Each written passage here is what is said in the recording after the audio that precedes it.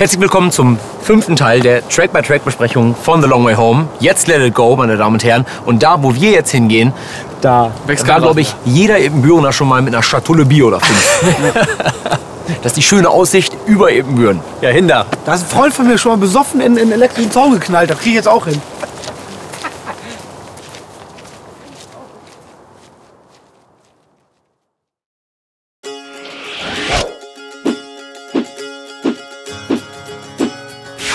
Windig ist es über den Dächern von Ebenbüren. Im Hintergrund zurück zur Natur ist das Thema jetzt hier. Genau, und zurück beim Track by Track äh, von The Long Way Home. Im Hintergrund seht ihr die wunderschönen Dächer von Ebenbüren. Und ist es nicht vielleicht das schönste Wahrzeichen aus Westfalen? Ich glaube ja.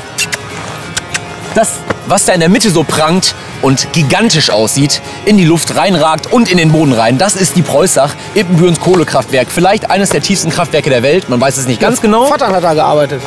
Genau, Working Class ist das Thema, meine Damen und Herren. Und Working Class ist auch ein bisschen das Thema von Let It Go, dem fünften Song auf The Long Way Home. Denn Äh, denn er ist sehr britisch, er ist sehr, sehr äh, urig, bodenständig und vor allen Dingen hat er hauptsächlich Naturinstrumente. Also Akustikgitarre, Mandoline, ähm, Mundharmonika und und und.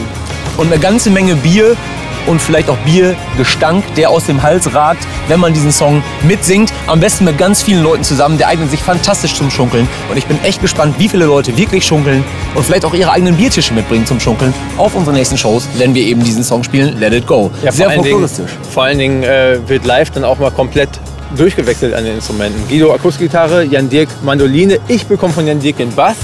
Macht den nicht kaputt, oh. Nee, nee, nee, nee.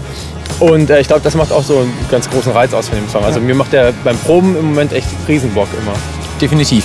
Ihr hört euch das Ganze auch einfach jetzt mal an. Äh, ihr hört euch sowieso auch The Long Way Home bitte mal weiter an. Und wir genießen hier noch diese wunderschöne, bombastische Aussicht. Mit Bier und Picknick und alles geil.